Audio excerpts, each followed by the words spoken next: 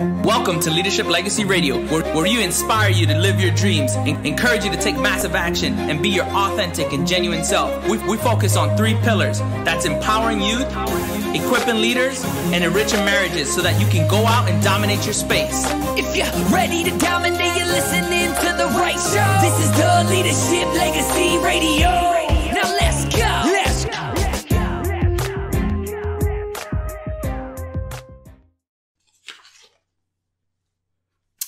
Good evening, everyone. Let's see. I'm gonna get this right, right here. Let me know where you're checking in from. Coming to you live from the ND. ND.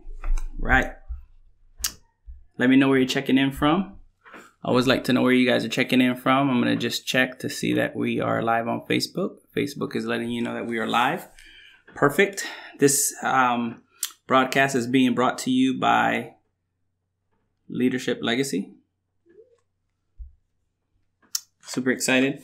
So, you know, um, there's a lot of things um, that you can do in life. Um, oftentimes, you know, things that we don't even realize are happening are happening. And um, I used to kind of like get excited when when I felt like I was growing. Oh, thank you for joining us, Sharita. and um, one of the things that um, that I had quickly realized is that um, it, the things that you look at and you consistently look at, you sometimes tend not to notice. And so, you know, a great example of this is is your kids you know, um, oftentimes when you go and visit family after, you know, being gone for a while, you know, people say, Oh my, how the kids have grown or wow, how big, you know, the kids have gotten. Um, oh my goodness, you know, look at how big they are, you know, in the pictures. And you're thinking to yourself, like, they're not that big, are they? Um, but it's because, you know, you're not paying attention to that. Um, and, you know, if you don't pay attention to certain things, you can miss it and you can miss an opportunity to get something that's going to help you tremendously. Absolutely. And so, as you can see, um, we are celebrating 4th of July. Uh, Sharita's all in her festive gear, ready. I am. Uh, rolling. We got Sorry, some guests. I'm late. yeah. um, we won't be before you long. Uh, we do want you guys to enjoy your 4th of July. Have an amazing time. Um, you know, have fun. And uh, please don't be the uh, one person that um, comes back to work on Monday with the nickname Lefty. All right. We don't want anybody getting in trouble, hurting themselves because of fireworks. So if you're about to start something and it starts with hold my beer, please stop them right there and say, okay, what are you about to do? Like, we don't need you breakdancing or doing Like, nothing crazy. Yeah. Don't say hold my beer and you're about to do fireworks and you're not practicing it appropriately. Mm. So just make sure that you're safe. Uh, we love Fourth of July. We love any holiday that we can spend with family, spend with friends, and and just kind of like you know get to share you know memories with. And so, you know, like I said, we won't be before you long. So we want to just come in and come out here and talk to you guys about you know um, a, key component to your success, um, and that is um, personal growth. Um, often not talked about, um, but very critical to uh, your success, which is personal growth. And so, um, you know, today um, I wanted to give you, um, you know, five steps. But before we go over the five steps, what are you doing right now to guarantee your growth? What are you uh, attributing to your growth? So you're probably eating. That's good. Check. Um, you're probably sleeping. Check. Um, and you're probably um, letting life happen to you. Uncheck. Right. So in order to be intentional about your growth, in order to be going in the direction that you want to want to go, you need to be strategic. All right. So, um, so my question to you tonight is, what are you doing to guarantee your growth? So there's something that I learned from my mentor, um, uh, a few years ago, and it was that, um, any opportunity that I had, I needed to be taking in three books. And so what I would do is I have three books that I always carry around with me. And, and now I've even taken it up a notch. I take two books with me and then I always have one on audio. And, and the reason for that is any opportunity that I have where I'm not physically like working or doing something, I'm ingesting something. I want to be taking in some material. So I'm either listening to a book or reading a book. So right now, um, the three books that I'm listening to or, or reading, um, I just finished listening to, um, How to Win Friends and Influence People in a Digital Age by, uh, Dale Carnegie. Um, I, I'm reading The Fatherhood Principle by Dr. Um, uh, Myles Munroe. And I'm also reading The Four Hour Work Week, um, by Tim Ferriss. So, I, I read three books and the three books, um what they are is essentially um, you basically uh, being intentional about personal growth, professional growth, and then something just fun, right? So the personal one is I, am always trying to become a better father, a better husband. And so um, that was a book that I actually got for Father's Day from Sharita, and it's the Fatherhood Principle. The one for professional growth is, is the one by Tim Ferriss, and that's called the four uh, the four hour work week. It's basically just how to you know um, how to basically take the the Pareto principle and apply it to your life times ten. So basically, um, taking 20% of your effort and getting 80% of the return. Mm-hmm. That's exactly what you want to do. You want to maximize your effort. So if you can do two things in your life and get 80% return, that's brilliant. That's what you want to do. So I'm, I'm, reading that book right now. And the book for fun was just How to Win uh, Friends and Influence People by Dale Carnegie. And I, I was listening to that book. And one thing that I would, I would, I would challenge you guys is to maximize your idle time. And, and this is, this is something that I have, you know, tried to help people, you know, kind of like just apply to themselves into their life. Um, and what I mean by idle time is oftentimes you're doing certain things that we do on automatic. It doesn't need your 100% attention. Um, you can do it without thinking. You can do it without thinking, right? Um, and it comes secondary to you. So, you know, um, working out, you know, cleaning the house, folding laundry, folding laundry, cooking, doing the dishes, driving, like these things don't require a thousand percent of your attention. Now, you do want to be, you know, focused on those things, which you can, but you can also be putting in great information. So that's a great time to have an audiobook. So anytime, you know, if you're interested in like learning more about the Bible, that's a great time to just put on an audio Bible. That's a great time to listen to a book that you've been interested in or to learn something that you've been trying to learn. So those are great ways to maximize your idle time. Mm-hmm.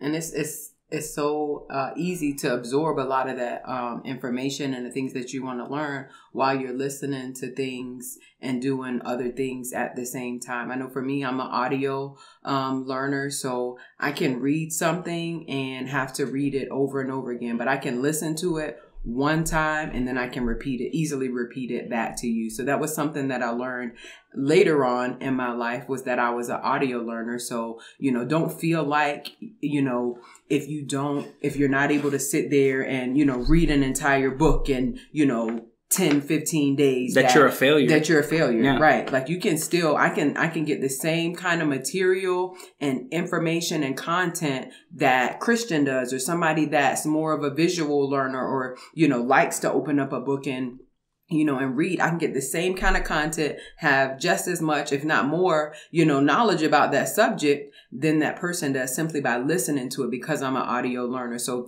definitely find out what, um, you know, what your learning style is and That's a great is. point. Yep. Uh, so, so everybody is one of three types of learners. So you're either kinetic, which is basically a hands-on learner. You like to just interact. You, you're, uh, we like to call like, so we know our kids. So Jalen is a tinker right? And not a thinker mentally, but a tinker. He likes to use, you know, things with his hands. Anytime we would get him toys as a kid, he would try to like, you know, break them apart and put them back together or love Legos, love building. So, uh, but he's a kinetic learner. He learns really well um, in an environment where he's able to apply what you're teaching him. Um, so sometimes, you know, some kids can struggle because that's the type of learner that they are. Mm-hmm. And if you don't know that as a teacher and you don't know that as, as a person, then you may struggle with connecting with that individual. Or just feel like you're a failure. Or feel like you are a failure because, like yeah, failure because, because you're struggling. Yeah. yeah.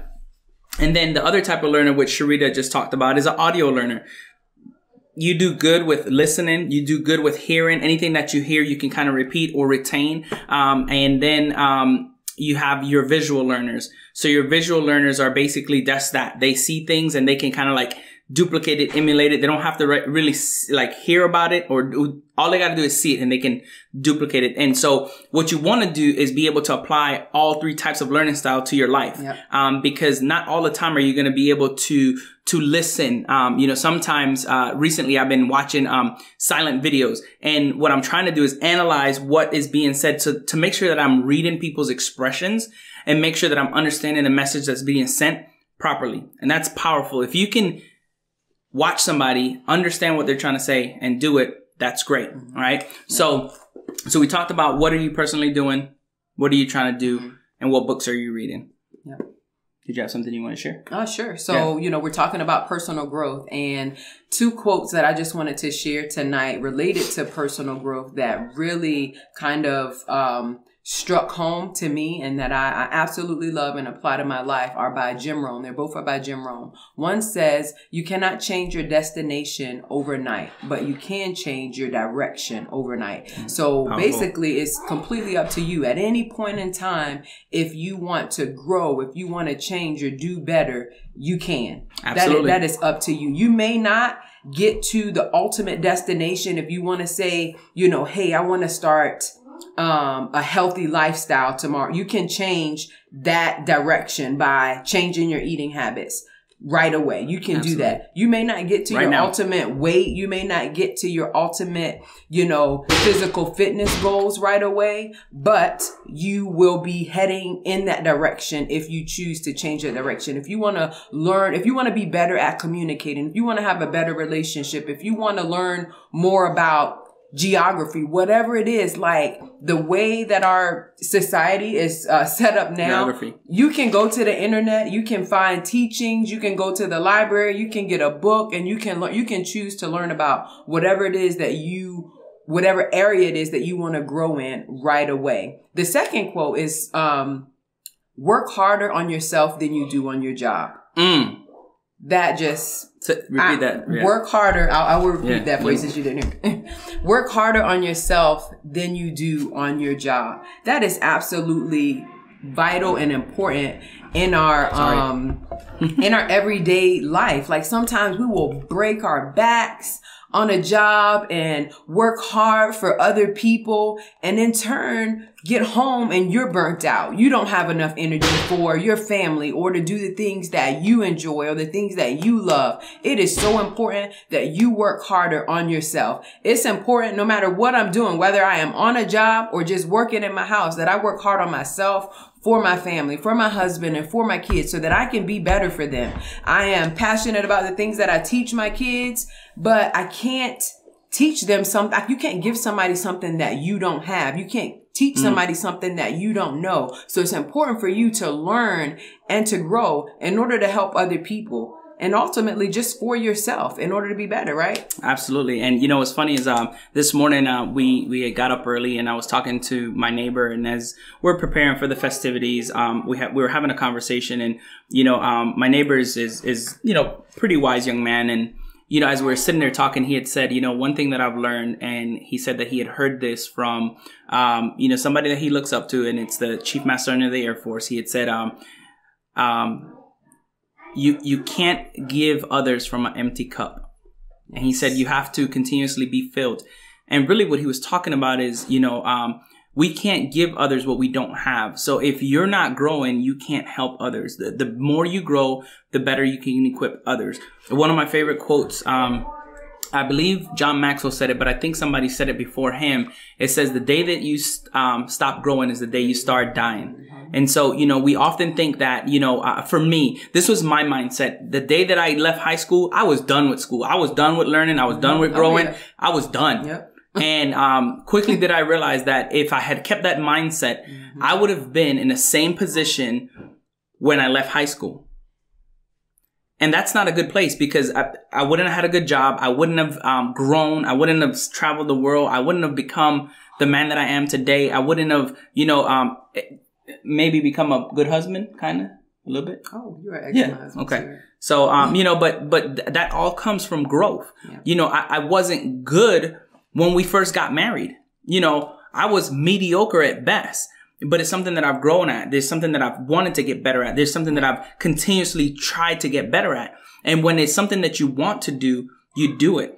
Oftentimes, when you try to push somebody to do something, they, they resist. Um, and, and, you know, sometimes I, I feel like my, my beautiful sister, I feel like the, the bad guy and I feel like the cop Cause I'm like, quit resisting. And they just keep resisting. I'm like, quit resisting. You gotta learn. You gotta grow. Mm-hmm. Right? So you can't, you can't do that. So here, here's what we're gonna do. We're gonna bring this in for a landing. We're gonna give you, um, five key principles to ensure that you're working on growth. All right. So the first one is growth is the only guarantee that tomorrow will be better.